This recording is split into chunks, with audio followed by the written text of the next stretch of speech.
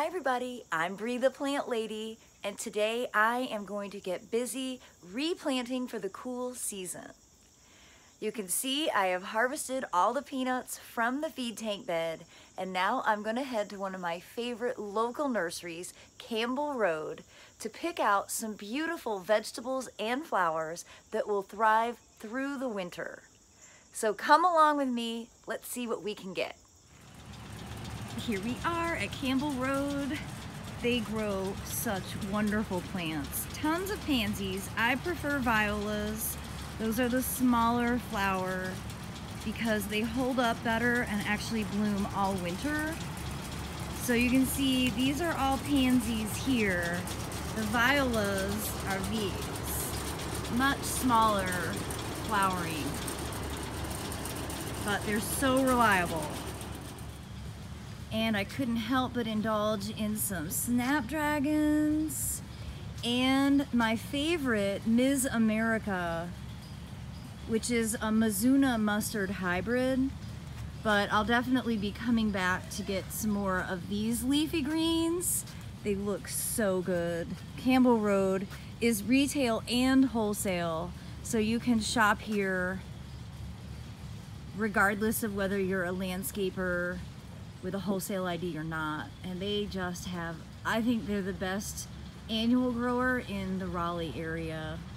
It's always such a treat to come here and go plant shopping.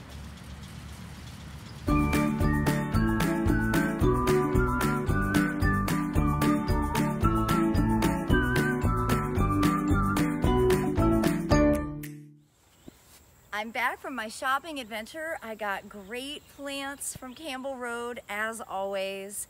And I did get some bags of hardwood mulch from Lowe's. It's not the usual mulch that I use, but I think it'll suffice just to help prevent the cats from digging so much. The cats really like bare soil and you know, they, I don't even know that they're always using it as a litter box. Sometimes they're just digging for the sake of digging. But the first step before I do anything is to actually go ahead and fertilize. And I found this bag of Garden-tone that animals have also found. And I am basically gonna top dress the two empty beds with this. Then I'm gonna mulch on top of it and then I'm gonna plant. And it's really good to do it in that order because it makes the process significantly easier, more efficient. You don't have to do all that tedious work of trying to mulch in between small plants. So just trying to get you to work smart, not hard. And I can't wait to see how these beds are gonna look.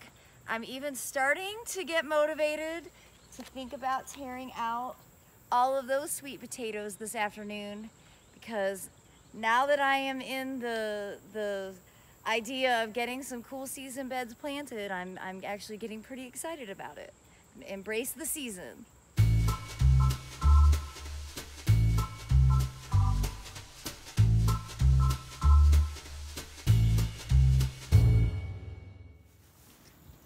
Killing me to tear out those coleus.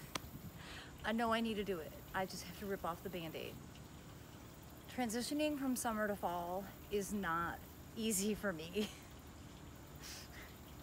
Here I am proving it. Mmm, I need some encouragement. Tell me, rip it out, Brie. They're gonna die as soon as it gets cold. That's the logical thing to do. I know it is. I just love summer so much. All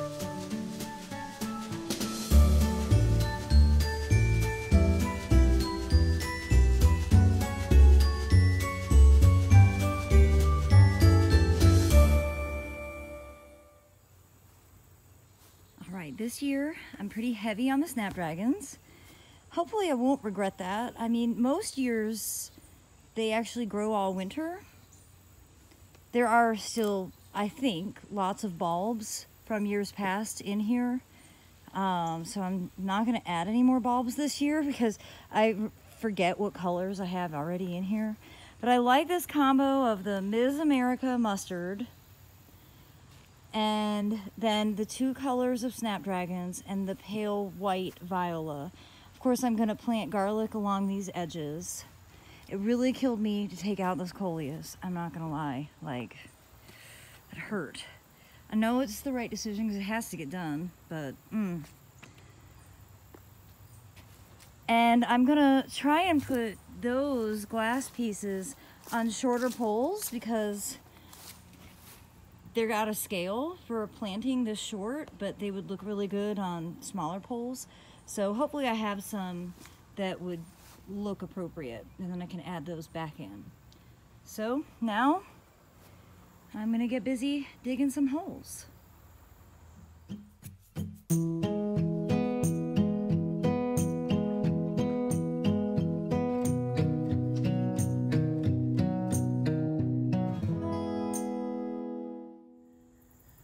So I have a few really important final steps before I can consider this bed to be finished.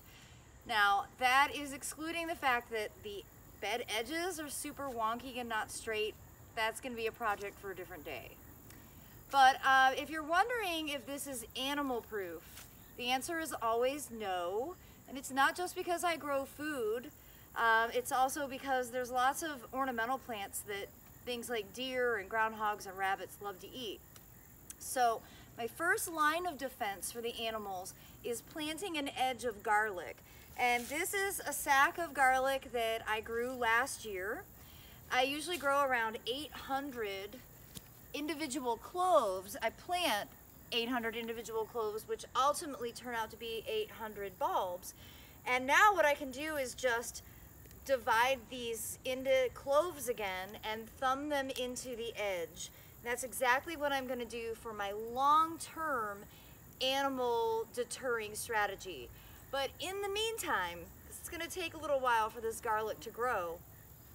I have both my I Must Garden deer repellent and my I Must Garden rabbit repellent. And I'm gonna spray everything with both of these separately because they actually have different ingredients in them that will make them deter both deer and rabbits, which are my two biggest problems. Um, I know if I was a deer, I would 100% come in here tonight. I would take a dip in the pool because the water temperature is perfect. And then I would eat all of these beautiful annuals that I just brought home from a from a greenhouse where they've been growing without any sort of animal pressure at all. So it's really important that you just think logically about this because first of all, you're not the only person that has animals that walk through your yard. And you know, it, just think about it. If you buy brand new plants, they've been pumped full of fertilizer, they're flowering, why wouldn't an animal eat it? Of course they're gonna nibble on it. Even if it's a plant they don't like, they're gonna try it. It's brand new, right? So it's up to you as the gardener to actually make it so that they leave your plants alone. And I, I mean, I give a lot of talks on animal browse, and overwhelmingly, people don't actually do anything. They just like to complain about the animals. And that's fine. But, you know, you really can't complain but so much if you're not actually going to take action. So I'm going to take action because I don't want to waste the money that I just spent in making this bed. I think it looks really pretty. I think it could look great for the next six months, provided I do my job and prevent the animals from eating it. And so that's why I'm going to plant garlic and I'm going to spray repellents. Now for anyone who wants to keep track, there's about a hundred cloves of garlic planted just in this bed. Those cloves will ultimately grow out to be an entire bulb.